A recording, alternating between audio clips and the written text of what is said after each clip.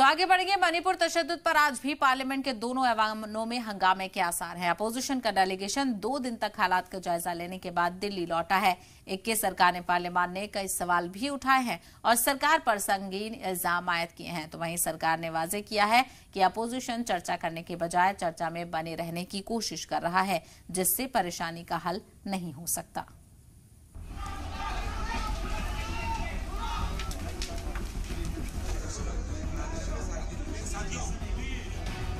मणिपुर पर सियासत कौन कर रहा है?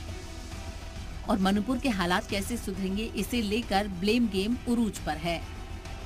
दो दिन के मणिपुर दौरे से लौटे आईएनडीआईए के अरकान पार्लियामेंट के संसद पहुँचने पर हंगामा होना तय है।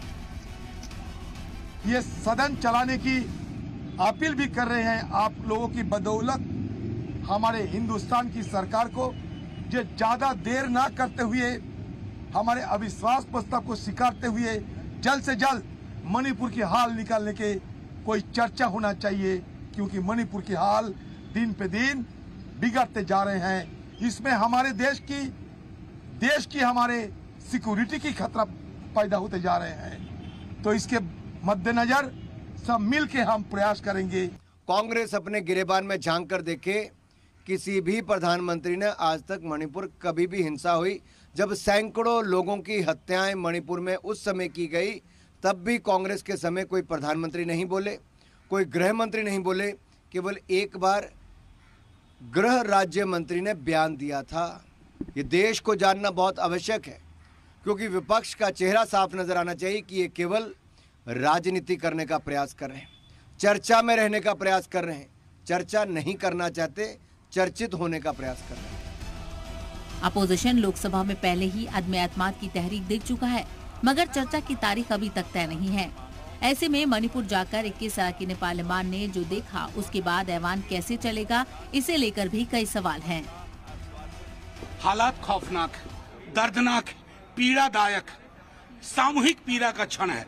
और देश को एक स्वर में संदेश देना होगा कि ये पीड़ा व्यक्तिगत भी है और सामूहिक भी है। संसद को किस प्रकार टप करना है पार्लियामेंट को किस प्रकार से बंद करना है यही उनकी रणनीति रहेगी।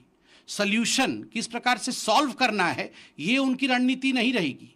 सुलझाना ये कभी रणनीति नहीं रहती है उलझाना यही उनकी रणनीति रहती है यह चिंता का विषय और दुख का विषय है।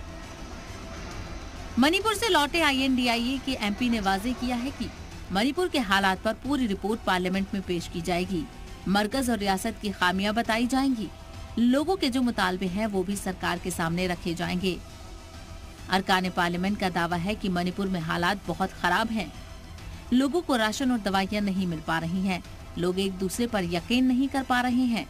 आईएनडीआईए के एमपी ने यह भी दावा किया कि अगर जल्द हल नहीं निकलता तो मुल्क की सिक्योरिटी को भी खतरा हो सकता है।